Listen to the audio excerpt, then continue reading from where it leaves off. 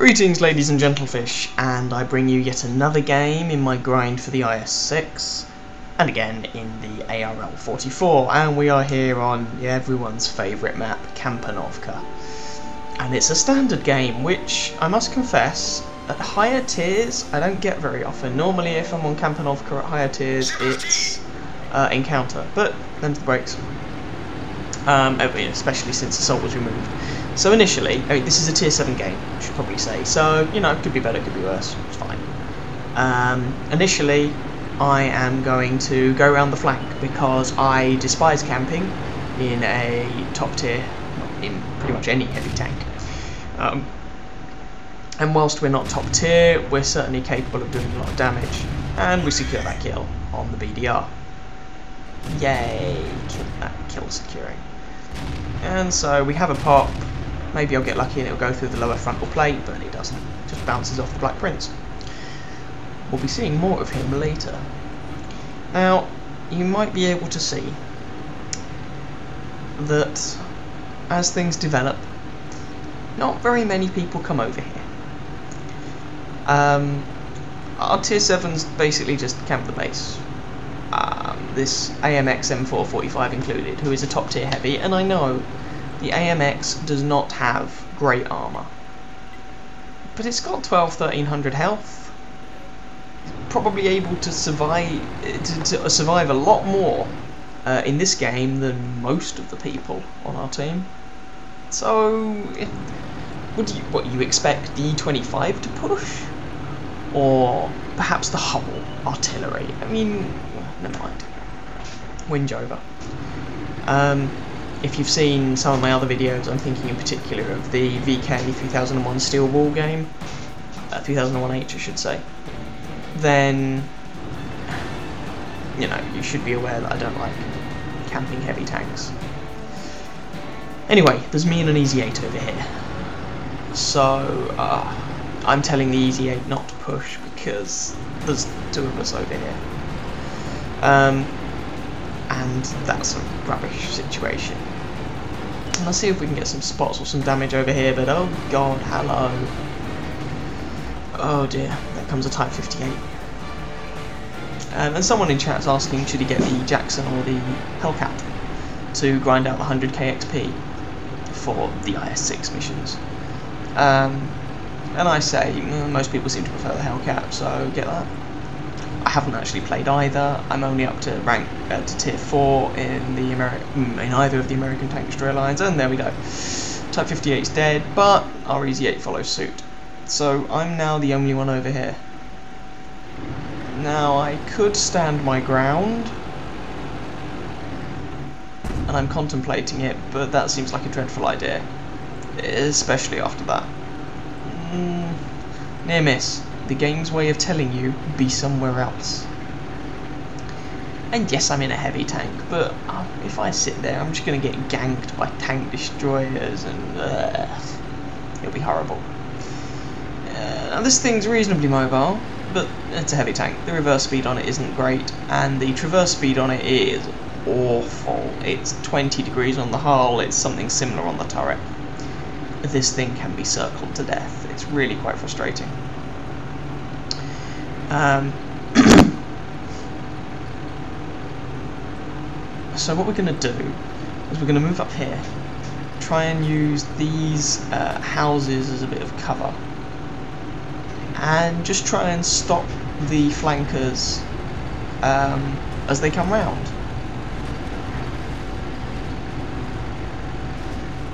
Now the frontal, the upper frontal plate on this tank is reasonably bouncy, it's 120 mil with a decent angle on it. So it has a line of sight thickness of probably, what, about 170 millimeters?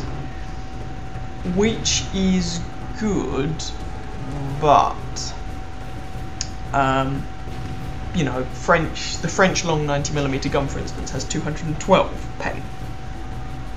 That can, and trust me, will go straight through the frontal hull of the ARL. And, and that gun turns up at tier 6, both on the ARL and on, well, on this ARL and the ARL B-39, the tank destroyer. Um, you know, you can say many bad things about the ARL B-39. You really can because it's a dreadful machine, but lack of penetration Not one of them. So we're just chilling.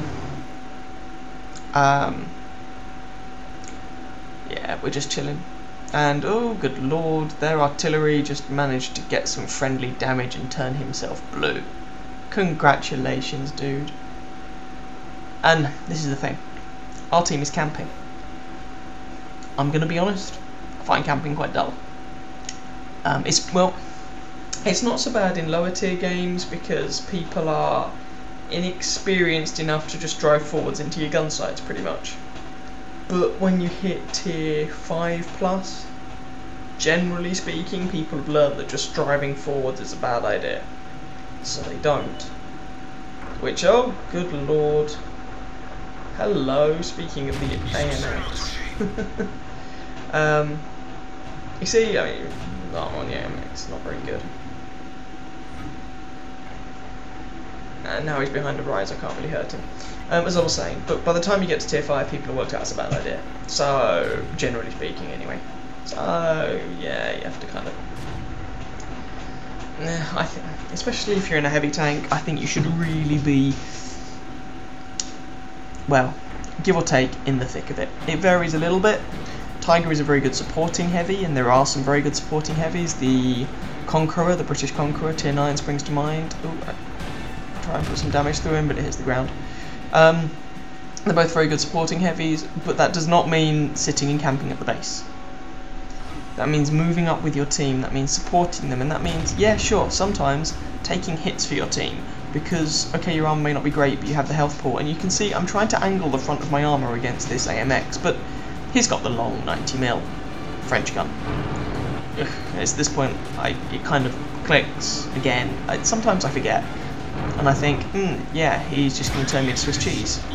That time he just takes out my tracks, and I have a reasonable repair crew on this tank. Ooh, I'm taking hits from someone else though as well. So I try and... there we go. AMX down. Um, I try and make the angle better now. There was a tank destroyer over there, I think. And there's a Black Prince coming down the edge of the lake. I think he's sitting at around E5, F6, something like that. Black Prince from earlier on. We're to see what we can do to him. Um, Alright, there we go. It's uh, TD, I can't remember which one. Oh, it's the SU-101. Oh, sorry, SU-100M1. And, oh, God. What the hell was that? I have no idea, but he certainly hurt me. So, we go over here. And we try not to get hit again. If you're shooting one of the Churchill tanks, and by one of the Churchill tanks, I mean not the Churchill gun carrier, because you can shoot that anywhere and it will do the job. Churchill 1, um, if you get to Churchill 1, shoot it in the turret. Anyway, so mainly, the Churchill 7 and the Black Prince. Um, on paper they have very good armour, but there are notable weak spots. And one of those is the tracks. The tracks run round a piece of hull, and the actual frontal armour over the track is very thin. And so if you aim your shot at the frontal track, it will do that.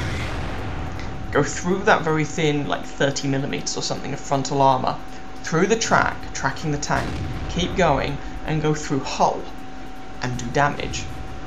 And so if you need to kill a Black Prince or um, a Churchill 7 from the front, and you're not convinced that you can do it by shooting his lower frontal plate, or you just want another weak spot option, that's one you can use. Anyway, so we put some damage into him, um, and now there's a T-34 is the Russian one, not the Chinese one. We put some damage into him, and then we finish him off. And the game is still pretty close. Um, now, where's that Black Prince gone?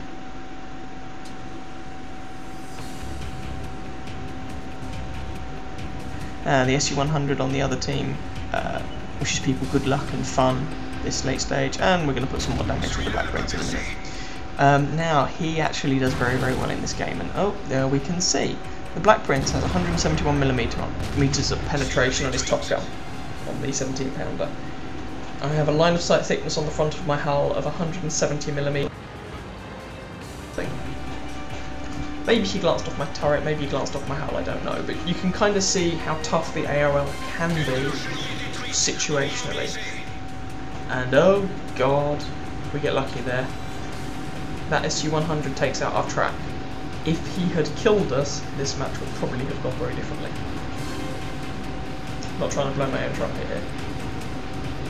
But, tier 7 game, we're currently on 3 kills, which is not too shabby.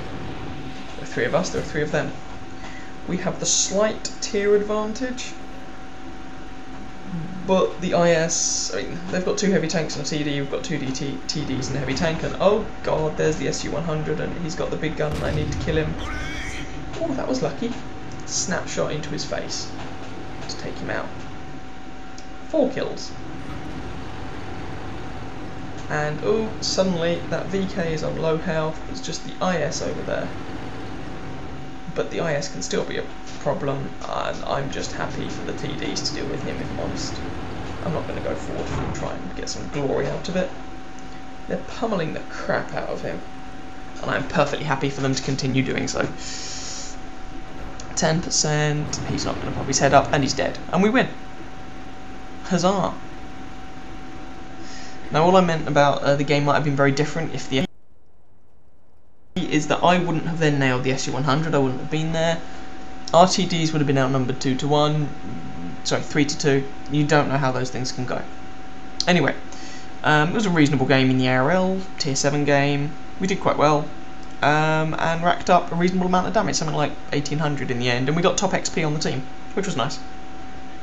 So I hope you guys enjoyed, and feel free to catch it, uh, some of my other videos, a lot of them showing this tank actually at the moment. Um, yeah, bye.